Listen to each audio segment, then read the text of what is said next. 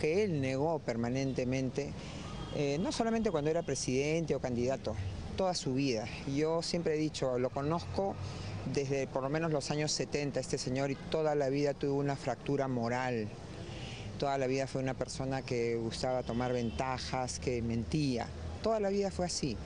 Ahora, eh, queda claro de que eh, buscó ser, llegar a un alto puesto eh, simplemente para enriquecerse. Y, y, su socia ¿no?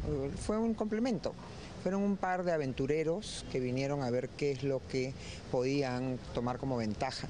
Y yo creo que ese pensamiento que eh, he tenido siempre a partir de datos concretos, ya la cereza del pastel fue el, el, cinismo en negar a una hija, de negarle los derechos eh, fundamentales durante 14 años a una jovencita que se los reclamaba incluso públicamente. Eh, eso eh, demuestra que más tarde o más temprano la vida eh, se encarga de poner las cosas en su lugar. Como dicen, el tiempo es el mejor amigo de la verdad.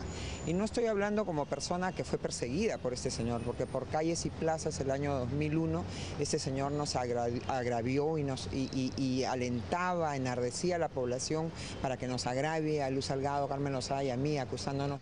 Y bueno, dentro de todo esto, el caso Odebrecht no es nuevo para el Congreso de la República. Es más, en el 2008